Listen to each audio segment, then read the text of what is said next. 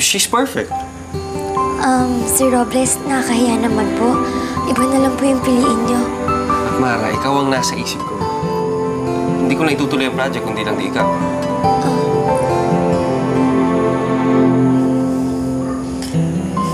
Oh, sige po. Great.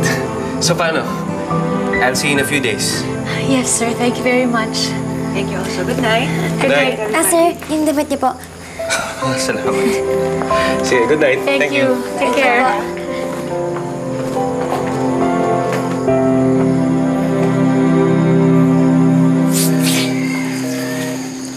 Oh, tawagan mo na ba?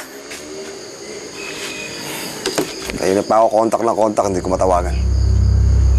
Bakit di mo na makontak? Hindi ko rin alam.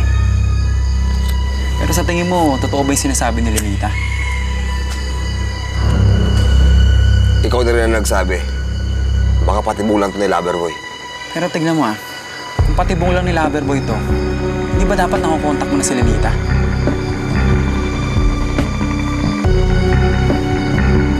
Mara, maraming maraming salamat ha.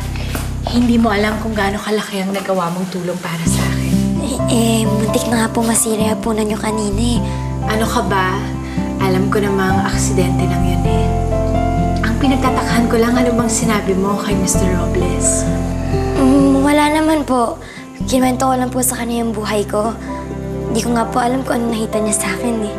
Siguro dahil nagsabi ko ng totoo. Sapat na yun. O, paano mag-go ahead ha? Ah, sige po.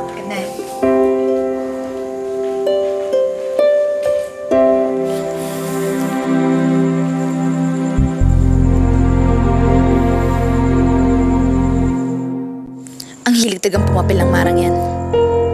Hindi ako papayag. Hindi pwedeng manalo sa akin si Mara. Hindi. Hinding hindi.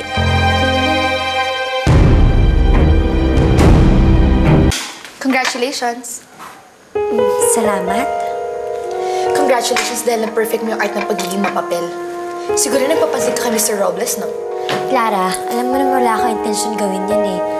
At saka kung tutuisan, ikaw din naman may kinalaman sa nangyari. Kung di mo sana ako tinisod, di sana di natapon ng kape sa kanya. Pinagpipintangan mo ba ako? Clara, hindi na kita papatulan. Naniniwala kasi ako sa karma eh. Sana ikaw din.